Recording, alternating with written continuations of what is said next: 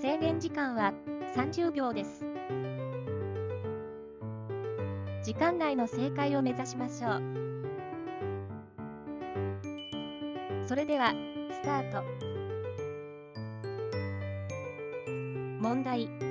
このマス目を完成させる数字は何でしょうか？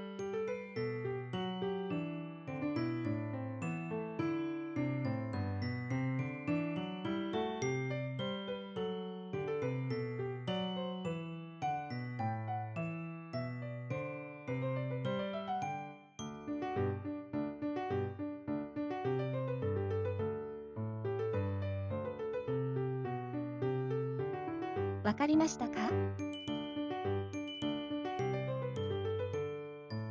もう少し考えたいという方は、一時停止してくださいね。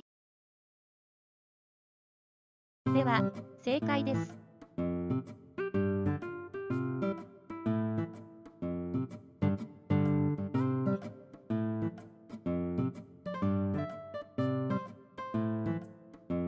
わかった方、メント欄で教えてくださいね。最後までご覧いただき、ありがとうございます。チャンネル登録をお願いしますね。